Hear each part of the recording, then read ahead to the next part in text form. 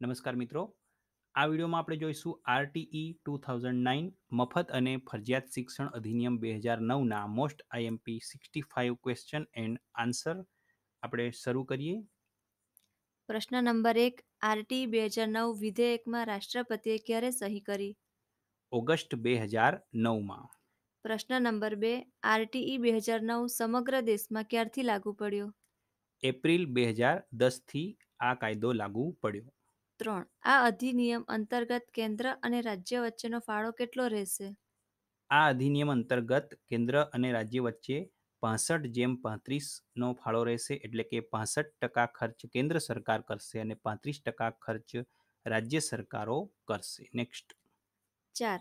પૂર્વોત્તર રાજ્યો માટે કેન્દ્ર રાજ્ય વચ્ચેનો ફાળો કેટલો રહેશે? પૂર્વોત્તર રાજ્યો એટલે કે જે આસામ મેઘાલય ત્રિપુરા એ બધા રાજ્યો છે સેવન સિસ્ટર્સ રાજ્યો. એમાં નેવું જેમ દસ રહેશે કારણ કે ત્યાં વિકાસ ઓછો હોય કેન્દ્ર સરકાર નેવું ટકા ખર્ચ કરશે અને રાજ્યો દસ ટકા ખર્ચ કરશે. પાંચ. યોગ્ય સરકાર એટલે શું? જ્યાં વિધાનમંડળ કે વિધાનસભા ન હોય ત્યાં કેન્દ્ર સરકાર અને જ્યાં વિધાનસભા હોય ત્યાં રાજ્ય સરકાર એને યોગ્ય સરકાર કહેવાય. છ. આ અધિનિયમ અનુસાર બાળક એટલે શું? છ થી ચૌદ વર્ષનો છોકરો અથવા છોકરી એને બાળક કહેવાય છે. સાત. પ્રાથમિક શિક્ષણ એટલે શું? પહેલાથી આઠમા ધોરણ સુધીનું શિક્ષણ એને પ્રાથમિક શિક્ષણ આ અધિનિયમ મુજબ ગણવામાં આવે છે. નેક્સ્ટ આઠ. બાળક મામાના ઘરે રહીને ભણતું હોય તો વાલી તરીકે કોણ ગણાય? બાળકના મામા જ વાલી તરીકે ગણાશે. નવ. માતા પિતા એટલે શું? બાળકના કુદરતી માતા પિતા ઓરમાન અથવા દત્તક લેનાર પિતા અથવા માતા એ તમામ માતા પિતાની વ્યાખ્યામાં આવે છે.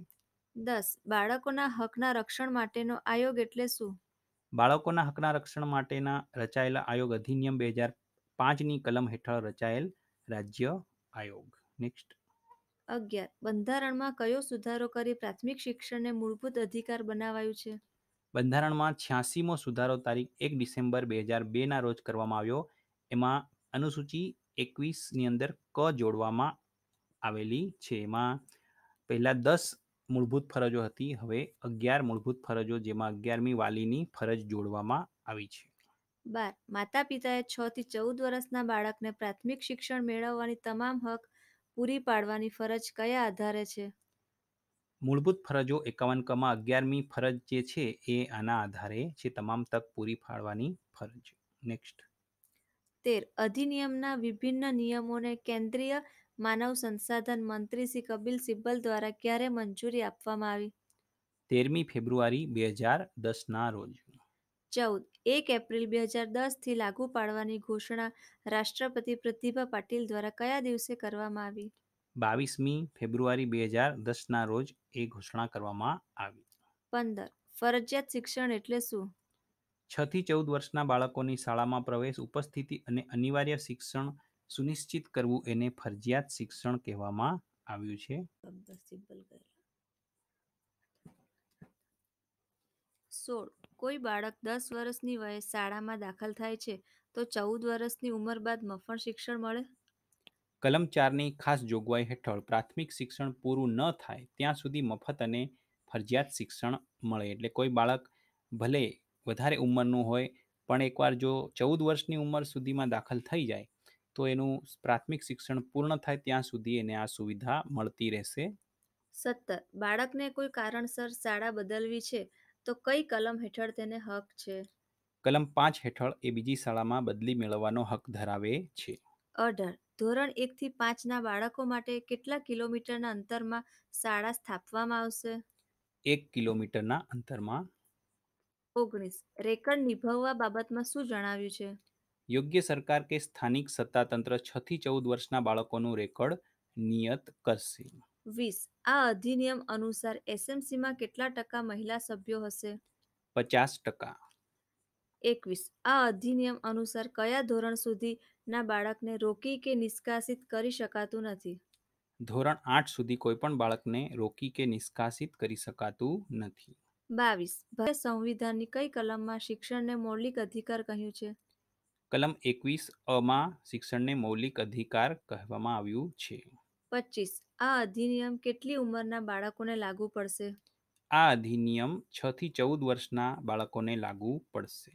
છવ્વીસ. શિક્ષણનો અતિ મહત્વનો ઉદ્દેશ્ય શું છે? બાળકના સર્વાંગી વિકાસ માટેનો શિક્ષણનો અતિ મહત્વનો ઉદ્દેશ્ય છે. સત્તાવીસ. ધોરણ છ થી આઠ માટે શિક્ષણ જેમ વિદ્યાર્થીનો રેશિયો કેટલો છે?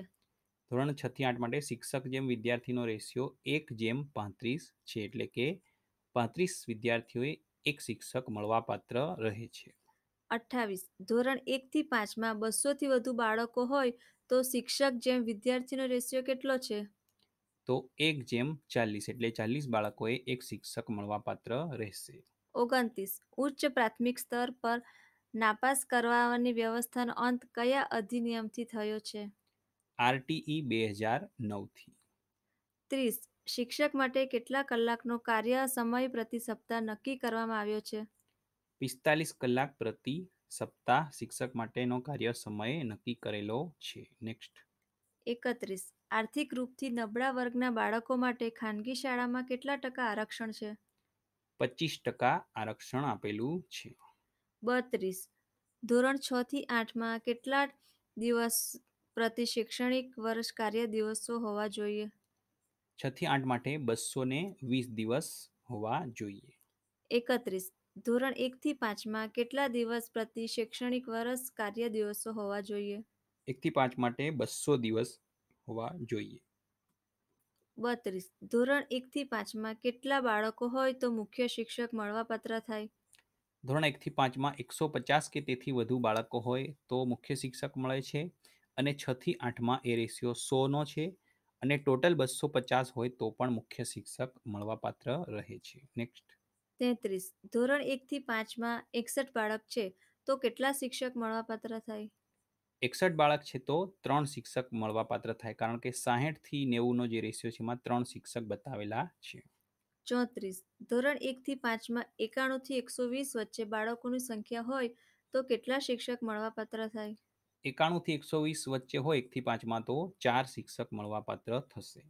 પાંત્રીસ. ધોરણ એક થી પાંચ અને છ થી આઠ માટે શૈક્ષણિક વર્ષ દીઠ કેટલા શિક્ષણના કલાક થવા જોઈએ?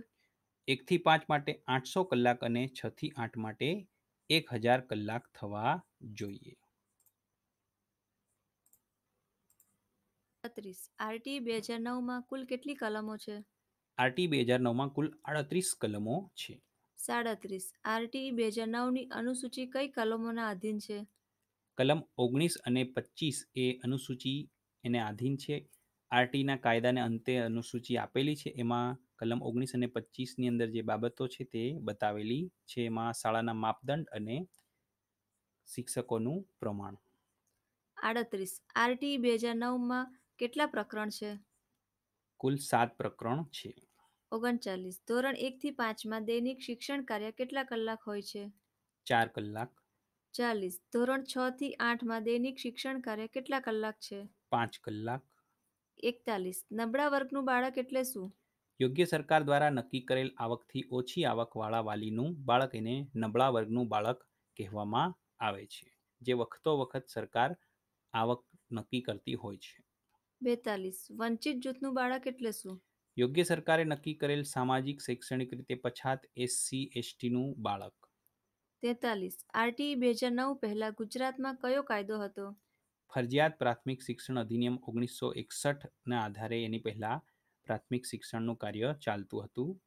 ચુમ્માલીસ. આરટી બે હજાર નવ અંતર્ગત શિક્ષક માટે શું પ્રતિબંધિત છે? કલમ અઠ્ઠાવીસ અંતર્ગત ખાનગી ટ્યુશન લેવું પ્રતિબંધિત છે. પિસ્તાલીસ. એસએમસીનું પૂરું નામ જણાવો. School management committee.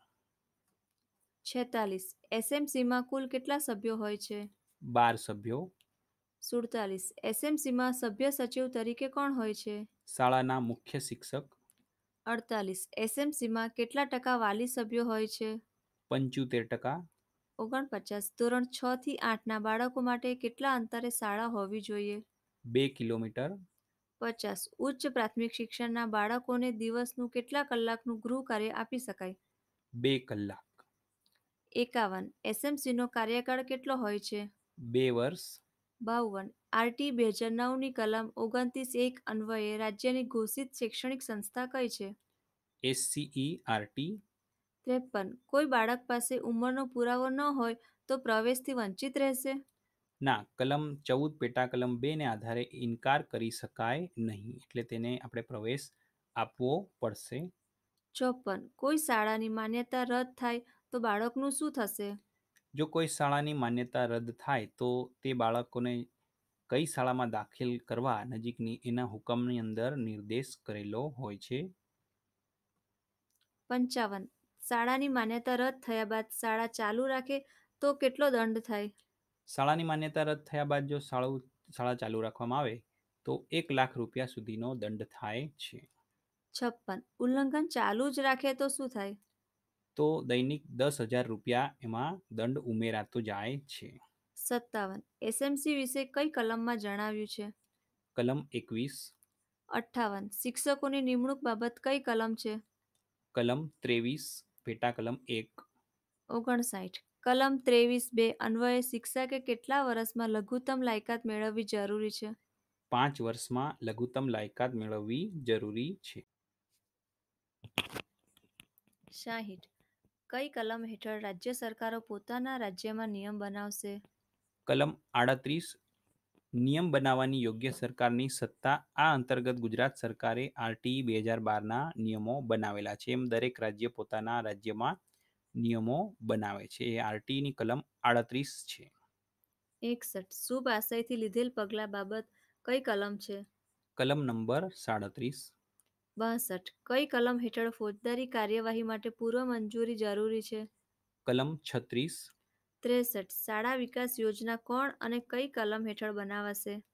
કલમ બાવીસ અંતર્ગત એસએમસી દ્વારા તૈયાર થાય છે. ચોસઠ શાળાનું મકાન શૈક્ષણિક સ્ટાફ અને ભણાવવાની સામગ્રી કોણ પૂરું પાડશે? કલમ નવ હેઠળ સ્થાનિક સત્તા તંત્ર પાસઠ પૂર્વ શાળા શિક્ષણ કોની જવાબદારી છે? કલમ અગિયાર હેઠળ યોગ્ય સરકારની. છાસઠ બાળક કે વાલીનો ઇન્ટરવ્યૂ અથવા માથાદીઠ ફી લેનાર શાળાને કેટલો દંડ થાય? પ્રથમ ઉલ્લંઘન વખતે પચીસ હજાર અને બીજી વારથી ને પચાસ હજાર રૂપિયા સુધીનો દંડ થાય છે. થેન્ક યુ ફોર વોચિંગ આ વિડીયોમાં આપણે આટલે સુધી રાખીશું. અહીં આપણે આ વીડિયો પૂર્ણ કરીએ છીએ.